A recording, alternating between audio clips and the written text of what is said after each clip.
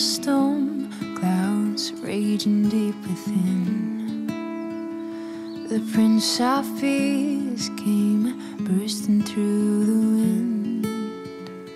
The violent sky held its breath, and in your light I found rest, tearing through the night, riding on the storm, staring down the fire. My eyes found yours, shining like the sun, striding through my fear. The Prince of Peace met me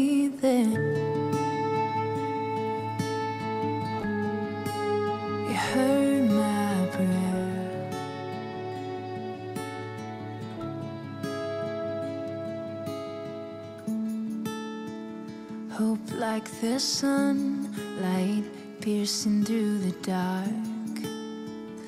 The Prince of Peace came, broke into my heart.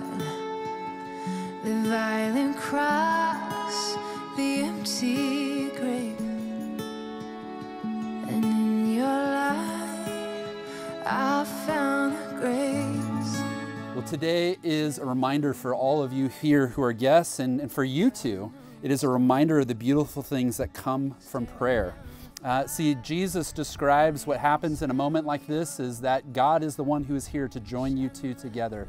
It is He who will do this marvelous work. And so, Almighty God, you are the welcome guest here. You are the guest of honor. And uh, we want this to be more than a wedding. We want this to be a worship service where you are honored. And so, uh, be praised, be blessed, and we just thank you, Lord, so much.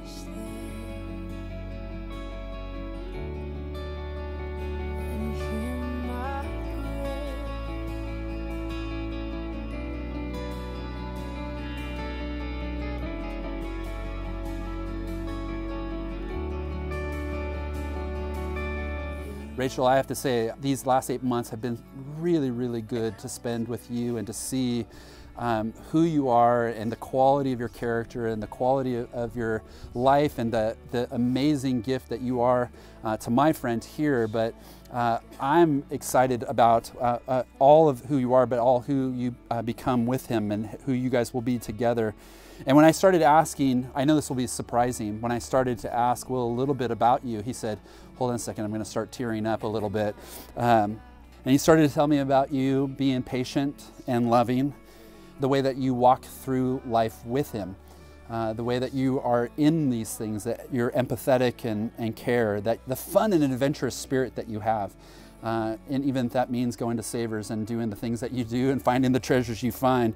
And this is probably the thing that stood out the most, uh, the way he described you, is that she's relentless in her love for me, persistent. Uh, that the way that she loves me is the way that God loves me. God.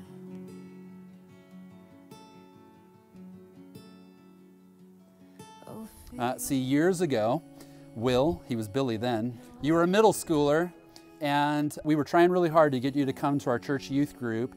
And uh, it was the prayers of your sister, your future brother in law, a lot of leaders, and a lot of uh, myself um, praying for you, um, hoping, wondering, uh, is there any way, God, you can break through into his heart? But one of the things I think we see in this is uh, in such a short amount of time, you have seen how rich the life of Jesus is. That when Jesus invites us to come and follow him, it is about a, a, life that he wants to give us with him now and forever. You look behind you and you have these incredible friendships. You are making a difference in the world, and Kim and I are so thankful for you. Uh, and, and Rachel loves who you are becoming and how Jesus is forming you. She was sharing with me uh, how thoughtful you are uh, that you're someone who means what he says, that you follow through, you're sentimental. Uh, you're the one who remembers the songs from the first dates, and you're compassionate and funny, uh, the smile, the laugh. And uh, she said to me from the very beginning, she knew.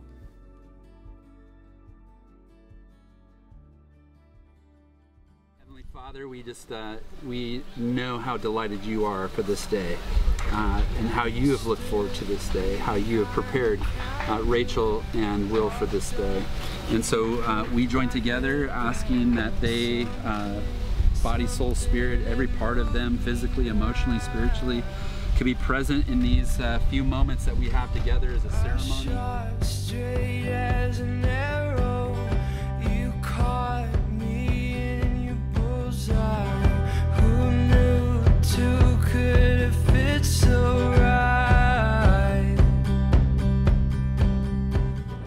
God, we pray your blessing, uh, that you would shine your face on this couple in such a way that uh, their days forward would just be filled with peace and, and uh, graciousness from you.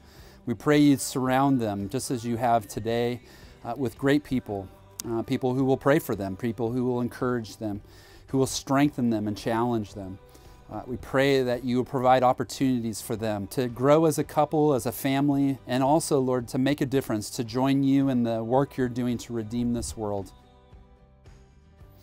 Rachel, Olivia, Eileen, Marigoni. when I look at you, I see home and I feel so loved. I see these vows not as a promise, but as a privilege, because I get to spend the rest of my life loving you. My best friend, my confidant, my forever. I love how we approach life together as a team, always striving after the same goals and working off each other's strengths. Rachel, I promise to love you in the good times and the bad, when life seems easy and when it seems hard. William, two years ago you captured my heart by being exactly who you are the sweetest, most loving, compassionate, and humble person that I know. You are so good at showing me how much you love me, and you make me feel so special.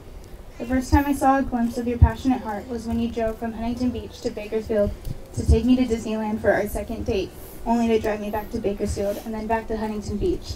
You have been my very best friend, the reason I laugh and my comfort beyond measure.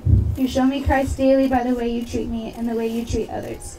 You have the most generous heart, and I, you're always willing to go out of your way to help others, and I am truly a better person with you by my side. when our life is simple and when it is an effort. I promise to serve God and you faithfully to the best of my abilities for all my days. I promise to choose and to love you every day for the rest of my life. I promise to always say I love you even when I'm upset with you. I vow to wake up and choose you every day. I vow to be your best friend. I love you, Rachel. Today I give you my hand, my heart, my love, without condition, completely and forever. These things I give to you today and all the days of my life. I therefore pronounce that you are husband and wife. Will, Billy, William, you get to kiss the bride. We have